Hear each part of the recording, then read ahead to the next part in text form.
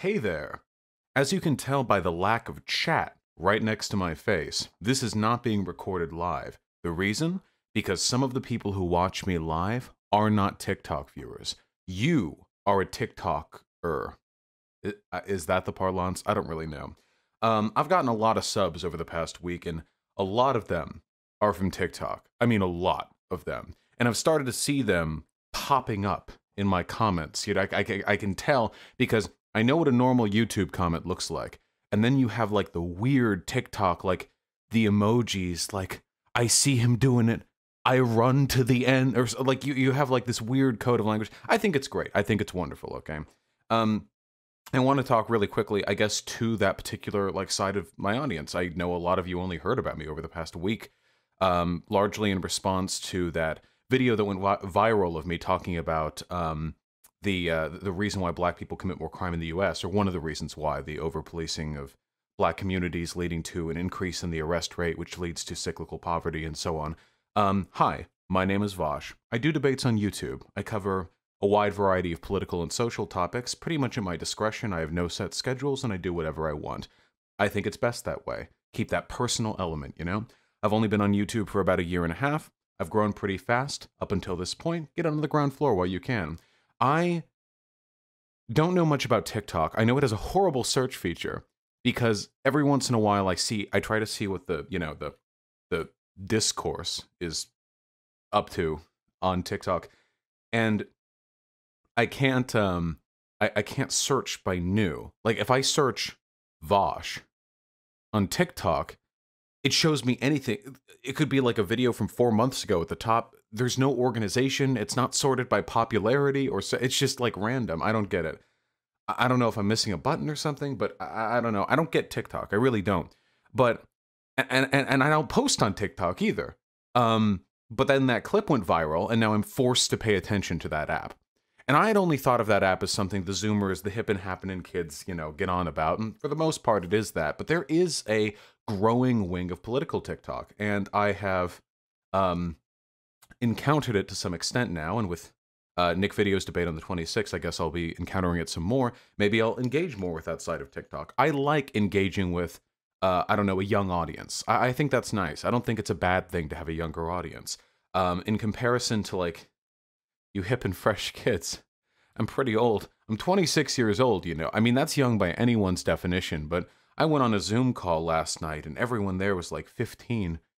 Whew. It's, uh, geez, do I have any like gray hairs? I don't really know. Here's what I'm going to say. To those of you who are new to my community, first of all, TikTok is a terrible platform for political discussion. That's why I like to do what I do. Now, debates aren't the best way to suss out the legitimacy of a political idea either, unless it's being done in a very controlled format. But let's be real here, okay? Political discourse online, political discourse everywhere outside of universities is still at like a knuckle dragging level of simplicity. The conversations online about gender are like still Apache helicopter jokes. The conversations online about immigrants are still about whether or not, like, murder gangs in El Paso and MS 13 vigilantes are coming to rape your white wife today. Like, there's no nuance here. There's no subtlety. There's no actual meaningful discourse. It's just shit flinging. And I love shit flinging. But I can get to the meaningful discourse when I want to. All the arguments I make, I back up with citations. I have a research document that I haven't updated in a while, but I was working on five minutes before starting this recording and will continue to work on afterwards because none of my radical leftist arguments, well, not all of them, are pulled from the ether. They're all pulled from data. Conservatism is the willful ignorance of data. Though I will admit, from my experience, some of those conservative TikTok debaters are significantly more talented at debate and more intelligent than the older, more entrenched political skeptic community here on YouTube. People like Sargon of Akkad or Styx Hexenhammer or fucking uh, Razorfist or the Rageaholic, I think is the actual channel name, or or V or any of these people. These people are uh, legitimately like way worse. Um, at, at discourse than a lot of these like 15 year old like flossing little fucking conservative Ben Shapiro wannabes I see on TikTok. And that's cool. I mean, children are scary, I guess, so we'll see how that goes.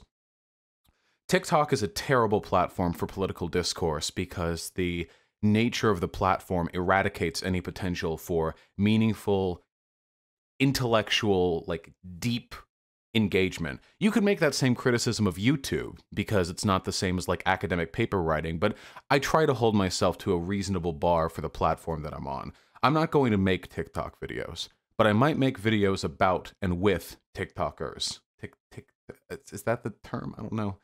Um because um man, conservatism is always going to win out on platforms where the only arguments you can make are the ones that could be understood by a child.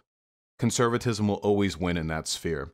Simplicity, um, the the just world fallacy, the um, the the just like a reductive assumption that something that is is something that must be. These are very easy to distill into a TikTok format where you dance and then you point at a thing. You go like, uh, ding socialism, ding doesn't ding, ding, ding, ding, ding, work. And then you like like flash like stalin on screen or something like like it's always going to default to that.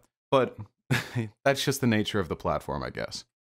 Um if you're here from tiktok this is all i really got to say. First of all uh welcome to this hell site from your hell site. You've probably been on youtube before this so i'm not exactly an introduction to youtube but welcome to my particular channel on this hell site. Um if you're interested in what i do i have a twitter my Twitter followers have also blown up, so I assume you're there as well. Um, I also have a website, vaush.gg, and that's where the actual that's where the actual website chat pops up, not the fucking YouTube chat. I'm not on Twitch. Uh, I got permanently banned from Twitch. I'm very edgy, you know. Um, and yeah, anyway, hey, uh, uh, uh, good luck with your crazy TikTok shit, okay?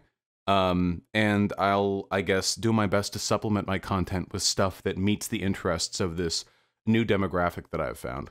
And for all the TikTok Zoomers who have found my content and find something appreciable here, I sincerely hope you take an interest not just in politics, but in engaging with politics and challenging the people around you whose ideas are dumb or harmful. Because getting young people invested in that is literally the bedrock of improving uh, a country, or I guess the world. So, yeah, thank you.